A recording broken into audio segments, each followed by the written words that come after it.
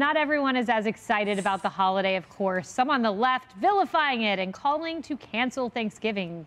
This would include a man named John Lujamo, who I can't pronounce his name, and apparently he's an actor. Okay, well, not worth pronouncing, because here's his take. Happy Indigenous Survivors Day.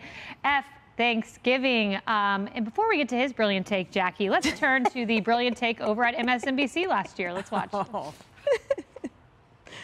so funny.